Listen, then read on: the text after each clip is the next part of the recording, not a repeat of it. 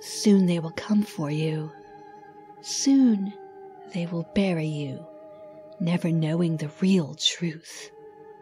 They will place you in your casket and bury you in the earth. Then, and only then, will I release you from my spell. You will awaken and find yourself in your tomb, a tomb for which you can never escape.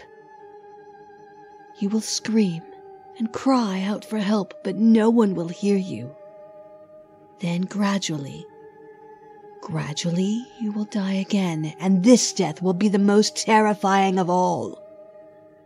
But what death could be more fitting for the woman that Barnabas loves?